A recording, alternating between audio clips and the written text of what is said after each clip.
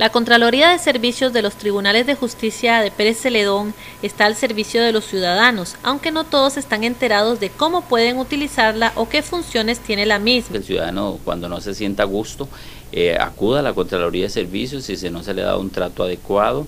Eh, también eh, lo que son problemas, digamos, de que se le extravía algún documento, algún expediente, en fin, es bastante las funciones que se hace, pero lo más importante es que el ciudadano sepa que hay una oficina donde venir, donde recurrir y que es un canal de comunicación entre el ciudadano y los despachos judiciales.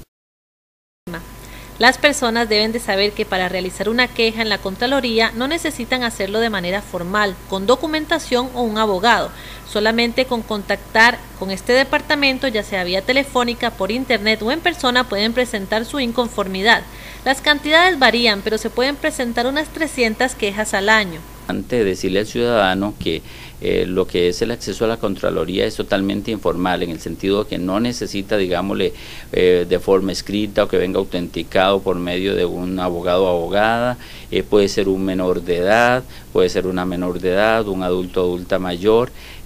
puede utilizar cualquiera de los sistemas que tenemos, información telefónica, lo pueden hacer a medio de la página web del Poder Judicial.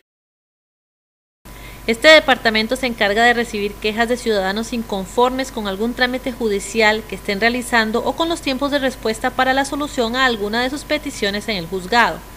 La gestión, nosotros generalmente tratamos de responder en ese mismo momento, ¿verdad? Aquellos casos que requieren un poco más de análisis porque dependemos de otras dependencias judiciales o otros despachos judiciales,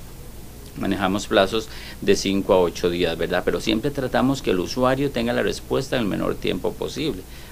Los trabajadores del juzgado son debidamente entrenados para tratar con el público y saben cómo lidiar correctamente con las personas que vienen a todos los despachos. Es por esto que si estas personas tienen alguna queja del trato que se les da, los ciudadanos pueden realizar la misma a través de la Contraloría igualmente.